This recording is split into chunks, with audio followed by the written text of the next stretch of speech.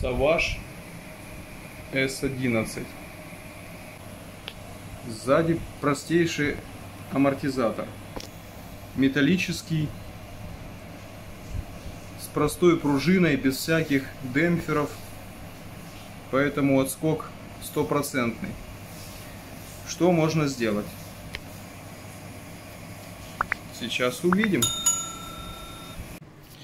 Ну и вот что получилось. Два тоже азотных газлифта термоусадки на таких шарнирах с такими проставками, которые не гнутся. С противоположной стороны симметрично.